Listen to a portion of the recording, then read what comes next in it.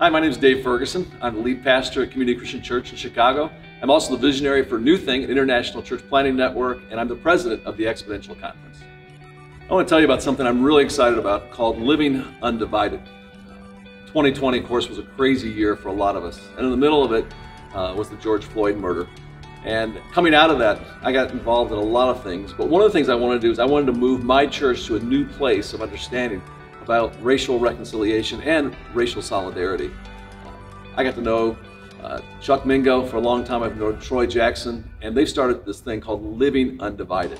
And what it is, it's a cohort that takes people through a six weeks where you get to really learn things that maybe you never would have learned before, really from world-class experts. But you also get to experience this kind of community building with the people in your cohort but the third thing that's really important is the storytelling. The, the, the, telling of stories back and forth from your own experience.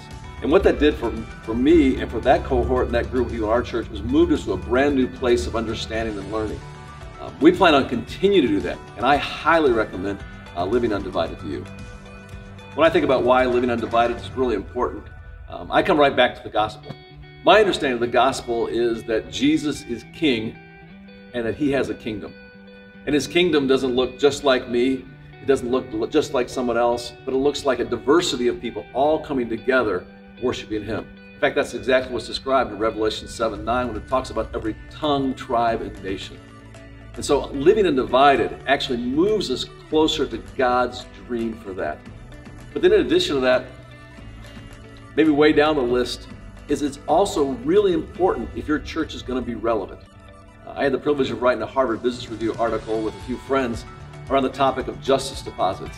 And justice deposits is encouraging churches to uh, open up accounts in black owned banks. But one of the things we discovered in writing that article was that for the age group of 40 and under, if you want to be relevant, whether it's in business or in church, if you want to have a listening, if you want them to participate, they're looking, okay, for businesses and for churches that are actually supporting these kinds of efforts.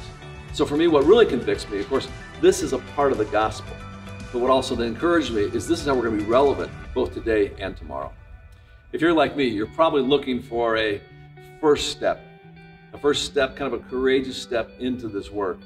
And it's tough because there's so much you don't know, and there's so much you don't know about what you don't know.